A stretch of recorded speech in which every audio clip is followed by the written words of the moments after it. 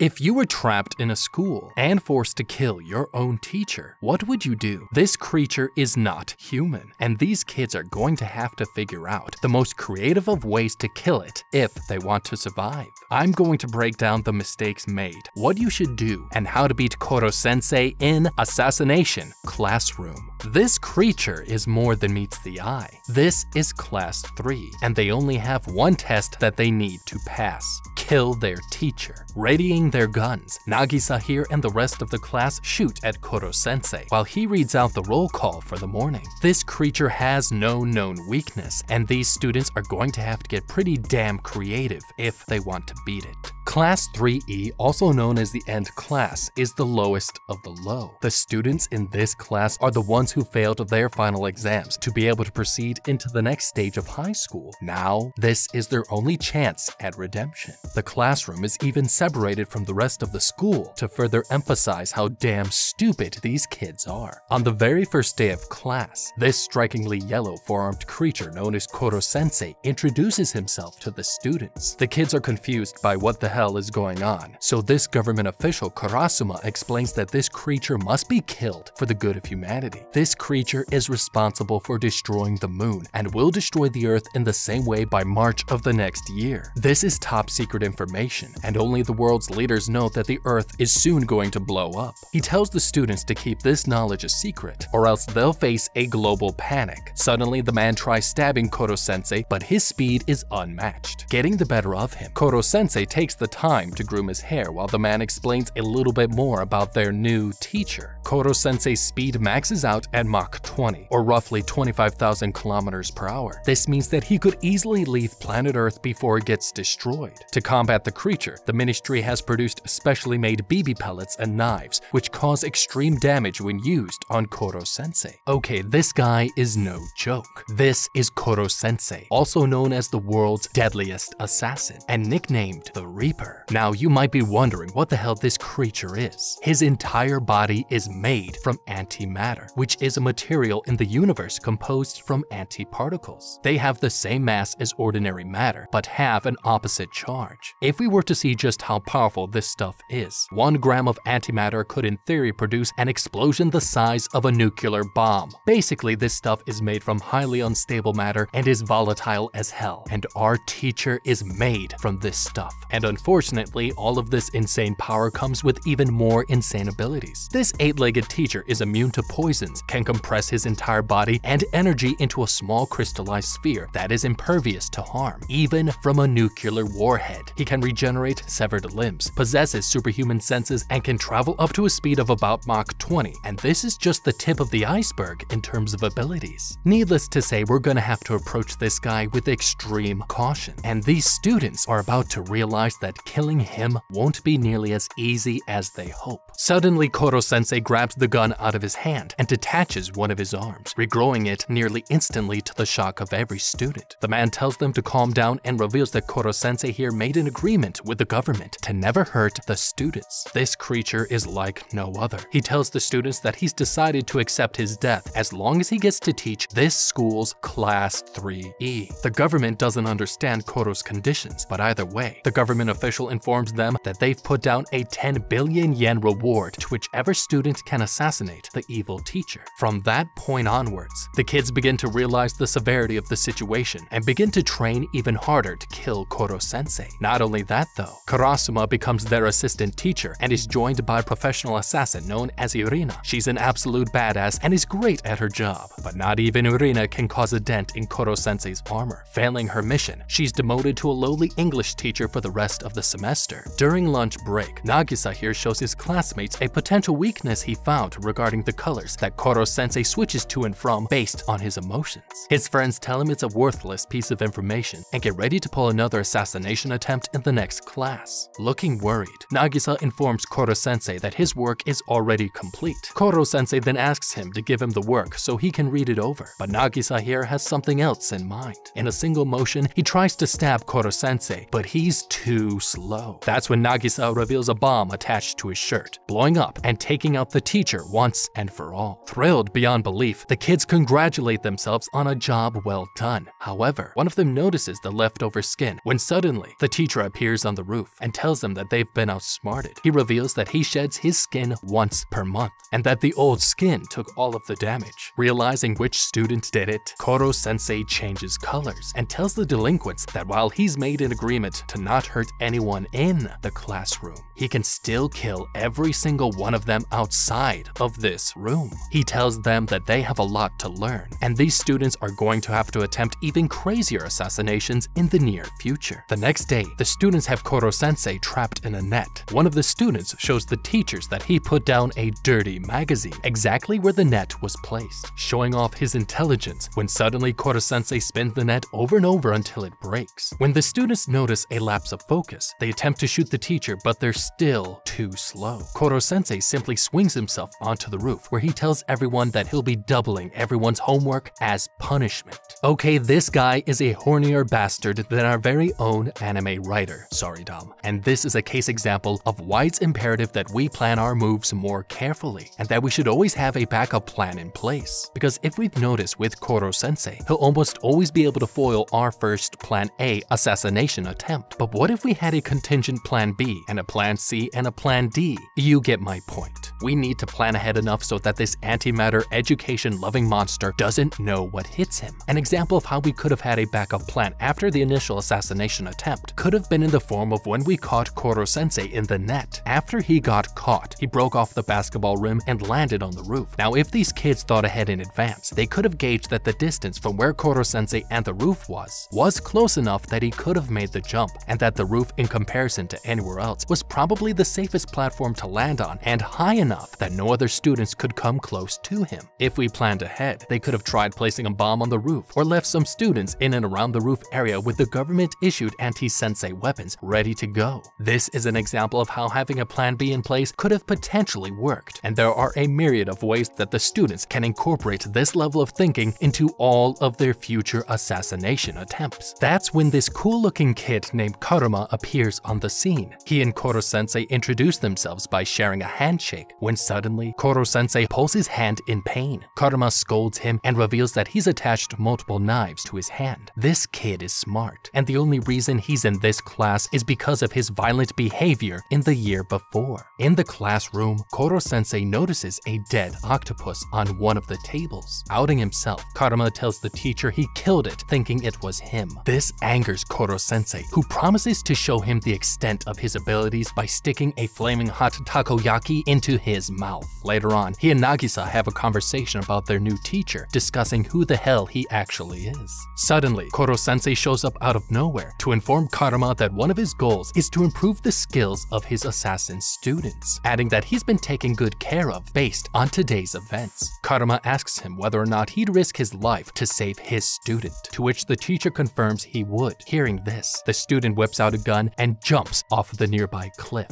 If Koro-sensei comes to his rescue, he'll be shot dead by Karuma's gun, and if he doesn't, he'll lose his reputation as a teacher forever. Without hesitation, Koro-sensei creates a massive spider web, which breaks his fall while keeping the student immobilized. The student's plans are ruined again, but he promises that he'll kill him someday soon. Okay, these two guys here failed in an epic way. I bet Karuma didn't think of the fact that if Koro-sensei tried to save him at Mach speed, he would have been dead. And if Karuma did manage to kill Koro-sensei, he'd also die from the fall. And to top that off, Karuma didn't utilize Nagisa at all, and just had him standing there like a chump. Two dudes with one half-baked plan. And you know what? I'll go out on a limb and say that even if we added a hundred more dudes to this plan, the only thing we would have had is an all-out disaster. Because yet again, these kids failed to pick up on the breadcrumb clues that our favorite teacher has left for us. And that is his love for the obscene portrayal of the opposite sex. I would have swapped out useless Nagisa for blonde baddie Irina and would have told her to use her feminine ways to lure Koro-sensei into letting his guard down, for the sake of humanity, of course. All I would have her do is just flirt with him a little bit and let his guard down, before blasting a hole right through his brain. This way, we would have stood a better chance and we could have carried out this plan with much better results. Meanwhile, at the Ministry of Defense, the government officials worry about the fate of the Earth. There's seemingly nothing that can stop this creature, and if nothing can be done, the entire planet will be destroyed by March. The older official scolds the teacher for not being able to do anything, but informs him that they'll be sending in a transfer student as the next line of attack.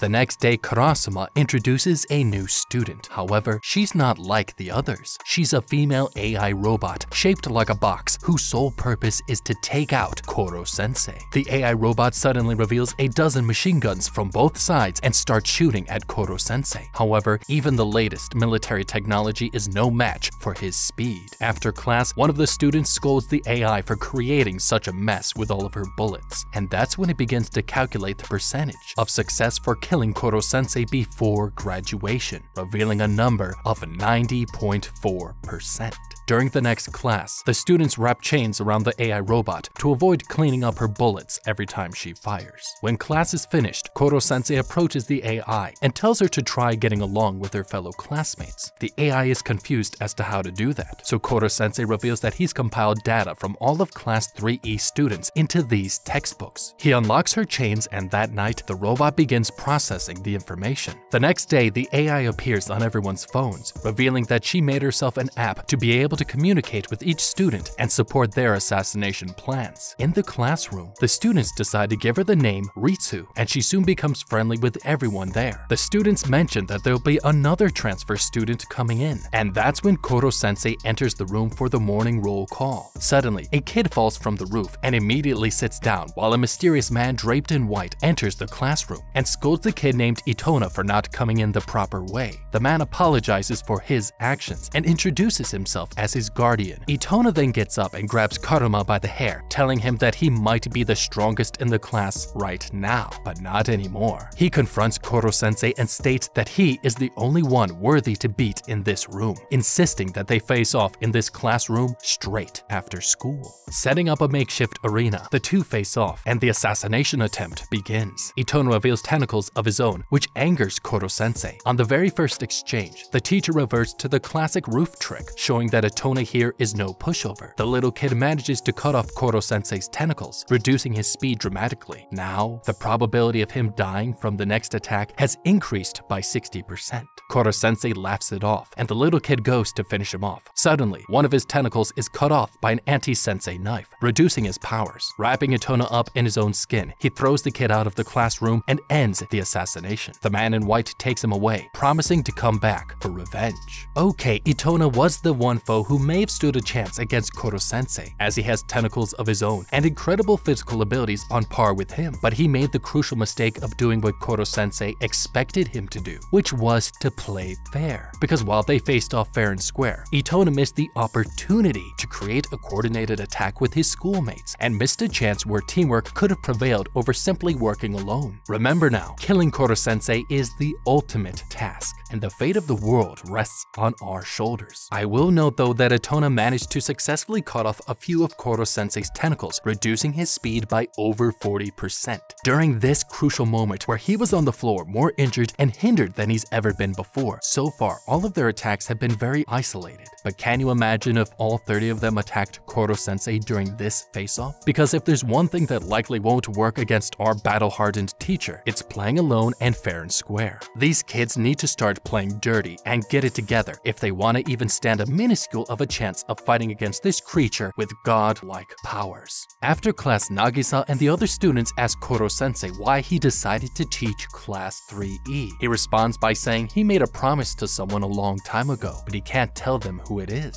The only way to know is to kill him. So Nagisa asks him what they can do to improve their assassination chances. Koro-sensei suggests that they take weekend classes, naming it the Assassination Training Camp. During camp, Nagisa notes down a number of weaknesses he sees, such as his limited efficiency with after images. Meanwhile, Karasuma begins analyzing each student's strength and weaknesses for combat. However, he has nothing to say about Nagisa. Later on, the boys of the class begin a mission of their own, creeping their way into the girls' bathroom. Meanwhile, the girls talk with Irina about her love life, when suddenly, Koro-sensei appears from behind. He dashes out of the room before answering questions about his own love life, while the girls chase him away. The boys realize what's going on and decide to chase after as well, leaving Nagisa behind. Suddenly, Koro-sensei pops up in Karasuma's room. The man shows him the results from the assassination training camp, which disappoint Koro-sensei, saying that it's still not good enough. After training camp, a new PE teacher introduces himself as Karasuma's substitute and gives out free food for the first lesson. Karasuma and Koro sensei look on while he tells the creature that they have to find new ways to assassinate him. The new teacher is instantly popular with the students. However, looks are deceiving and this nice guy is more than meets the eye. That night, Irina interrupts Karasuma to reveal that she knows all about him and the PE teacher's history, telling him about their intense rivalry. She tells him that he has a history of getting good and fast results out of his students. However, it comes at a cost. The next day, the PE teacher gets the kids to do laps around the schoolyard when one of the girls collapses in front of him. She tells him that she can't do this any longer and prefers Karasuma's classes. Angered, the teacher violently slaps the girl before being stopped by Karasuma himself. He tells him that this is his way of discipline. To prove his way of teaching is superior, the PE teacher asks Karasuma to pick one of his kids to fight. He will fight barehanded, and if the student manages to even touch him once, he'll concede defeat and admit he's a worse teacher. However, the PE teacher adds one more thing. The knife they use will be real. Karasuma gathers the students, putting the onus on Nagisa to fight in his place. Nagisa agrees and the fight begins. Nagisa slowly inches towards him, pushing him to the ground and placing the knife on his neck. The student wins, and the PE teacher promises that he'll be back for more. Okay, while this may seem like sweet victory, this means so much more. This is just the tip of something that could, and most likely will, become a whole lot more serious in the future. The PE teacher was no doubt a self-righteous prick to abuse that girl student, but what Karasuma and the whole class failed to realize was that that PE teacher was humiliated and power-hungry based on how he handled his role as an authoritative member of the school, and the fact that he just vowed that he'd be back can only mean that the next time he comes back to fight, it'll likely be on his own terms and without any forms of rules to go by, which means we can't let him get to that point. Nagisa, the girl who got slapped, or even yellow cephalopod Koro sensei himself, of all, should have recognized that slap to begin with was illegal. And with corporal punishment in Japan being illegal, they should have used that PE teacher's act of rule defiance as grounds to sue him and get him off of the grounds to begin with. Not that that would stop Koro sensei if he truly decided to kill him though, which would not be a bad option. Though if we're not going to kill him, maybe we should go to the legal route. Because in a nation that prizes conformity and obedience to authority, if the students don't act now, then they'll further encourage this behavior, which will lead to more future problems. And we already have our hands full with trying to take on Koro sensei. We don't need any more problems or distractions headed our way. The next day, one of the students asks Koro sensei to drink a poison she made. Suddenly, his face begins to transform and turn white. However, it doesn't work. During the next few days, Koro sensei plays around with the kids, showing off new and improved powers to the students. The students begin to get angry and have self-doubts, telling that Koro sensei that he's too good to be assassinated. This angers the teacher beyond belief, who tells him that they don't have what it takes yet to be an assassin, and he asks all of the class to gather in the schoolyard. With everyone's attention now on him, he asks the students whether or not they really want to kill him. He asks the professional assassin if she only plans one attack for an assassination. She tells him that a proper assassination with detailed backup plans for any possible scenario is a must. Moving to Karasuma, he asks him if the first strike is the only important one when using a knife. He responds by saying that the first strike is likely to be dodged, so follow-up strikes are even more important than the first. Koro sensei tells the kids that it's the utmost of importance that they continue studying in case he disappears or even worse, dies. That's when he jets off, circling right back onto the schoolyard with a giant military weapon. He tells the class that if he doesn't see any improvement in the students, he will simply vanish. He reminds them of the poison incident, telling them they need to be more deceptive if they want to have a successful assassination. A successful assassin is well-rounded in every sense of the word, a word that they'll soon find out the importance of very soon. Later that day, Koro sensei tells them of a goal that they must achieve for the end of term exams. Each student who receives a top score in a subject will be allowed to destroy one of his tentacles. Losing even one tentacle will drastically decrease his speed and reduce his ability to create after images, making their assassination attempt a whole lot easier. Excited beyond belief, the class gets to studying after hearing the good news. Okay, if I'm these snotty-nosed kids, then I'm not sure what the hell they're doing. They gotta study Koro sensei down to his daily daily bowel habits. This is a case example of not putting in the extra work to study after school hours as well as during. These kids should be following Koro sensei around the clock everywhere he goes throughout town as best as they can. Observing him at school only tells them one side of the whole story, and this is something that the class should take into account if they want to have any chances of killing him at all. We should round up the entire class and get them to help us, and above all, we need to make sure that we don't get caught. In the staff room,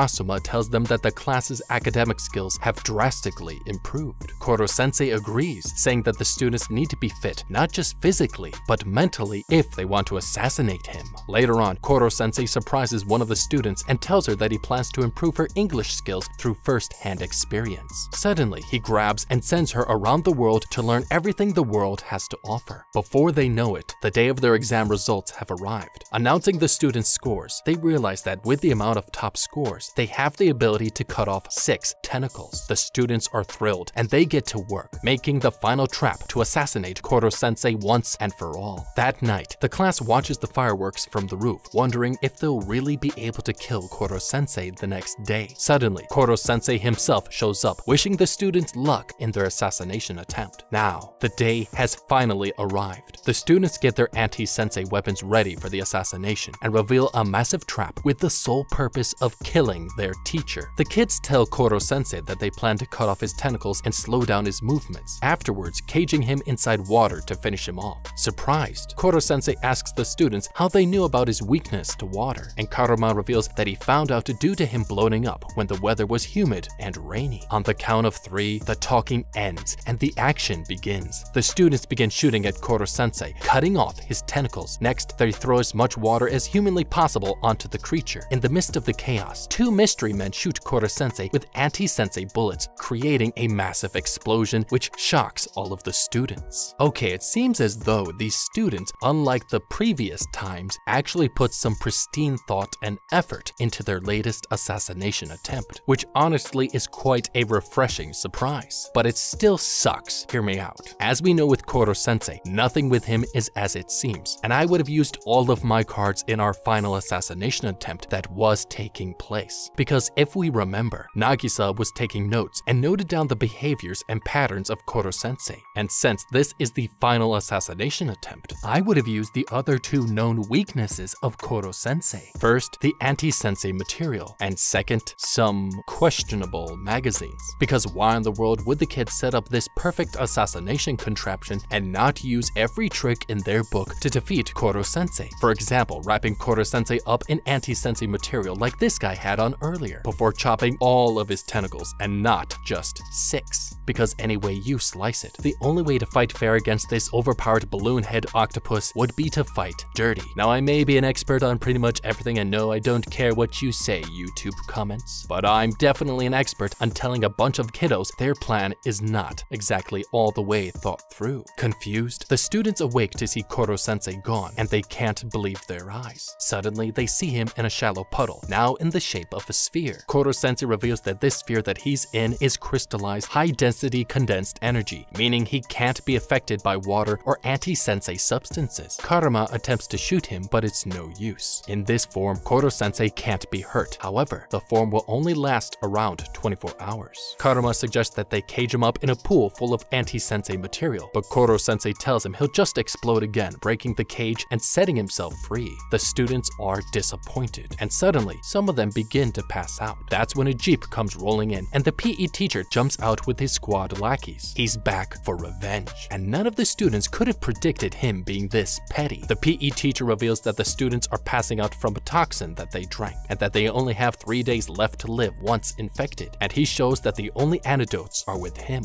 This is diabolical as hell, and these kids have no idea what hit them. But before we can address this fully, we should understand the psychological response to the act of fainting, which can come about due to the stimulation of the vagus nerve. This nerve is responsible responsible for the regulation of internal organ functions such as digestion, heart failure, respiratory failure, as well as vasomotor activity, which refers to the actions upon a blood vessel which alter its diameter. This is a reason that can cause the heart to slow and blood pressure to drop drastically. However, it's important to note that not all losses of consciousness are related to the vagus nerve. Now, the cold hard fact of the matter is, is that we can't get rid of the poison from our systems if we don't know what poison is being used. But the PE teacher is the only one who knows what poison it is. And he's the only one around here with the cure on him. However, the PE teacher made one final mistake in his threatening execution. He stated that the poison delivered to the students will kill them within three days. That means we actually have time to kick his ass. And sad to say, but the price of all of these students is worth the possession of Koro-sensei not being in their hands. Because let's face it, our yellow octopus friend at this point is basically a kid's toy-sized B-41 hydrogen bomb, which means we can't afford to hand him over. And like I said, even if they don't make it, no kid is above dying for Koro-sensei, because the world is safer if he's in our possession than the bad guys. Sometimes you gotta make harsh choices in life, kids. Furious at the incident with Nagisa, he tells the teachers only to give him the antidotes in exchange for his arch nemesis. Karasuma approaches Nagisa, who is holding Koro-sensei in his hands. Koro-sensei doesn't believe that the PE teacher is truthful, telling him that something is off about the negotiation. Suddenly, a tentacle appears out of nowhere, attacking Nagisa and Karasuma. Climbing up on the jeep is Itona, who's gained complete control over his tentacles. Wanting to be the strongest, he chases after Nagisa and Karuma, who is still holding Koro-sensei in a ball. Meanwhile, the PE teacher laughs at their misfortune, saying that he'll be the one with the 10 billion yen, while he gets back into the jeep. The teachers look on helpless, with no way to harm the man because of the antidote. Still on the run, Koro-sensei tells Nagisa not to worry about the others and only focus on stopping Itona. Meanwhile, the class is treating the unwell students who are currently in critical condition. However, while they might be in the school, they're not as safe as they might think.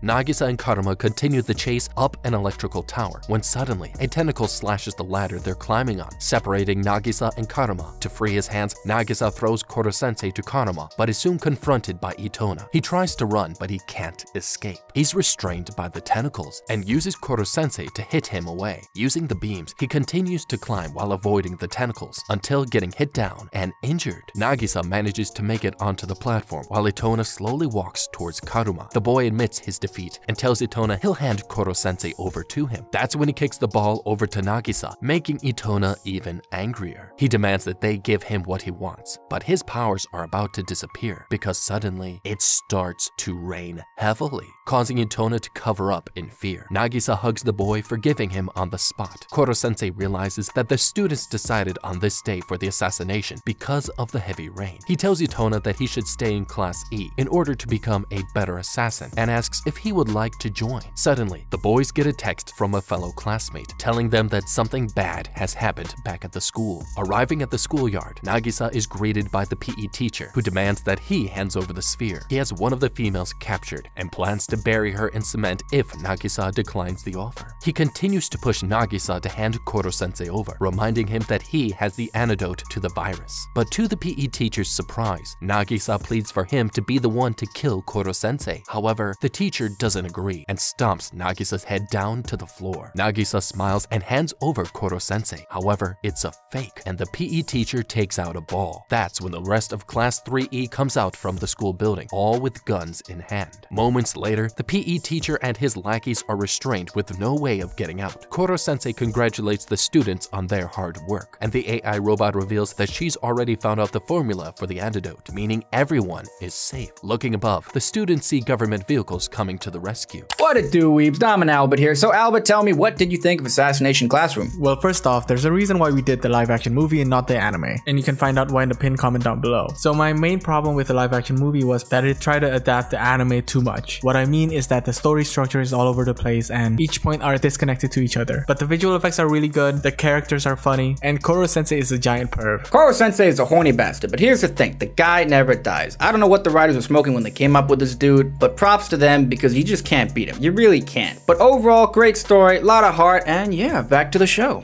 In the government facility, Karasuma tells everyone they've developed a shelter to save Earth. Looking towards the monitor, Koro-sensei gives the class a final message, congratulating them on their progress, all the while being buried in anti-sensei bullets. On the count of three, the government announces that Koro Sensei, the destroyer of the moon, has been killed, leaving the students in tears. Suddenly, a yellow hand pops up out of nowhere, revealing the message to be untrue. Koro Sensei is still alive and well. Now back for the second term, the kids continue their assassination attempts. However, there's a much bigger threat waiting for them in the future.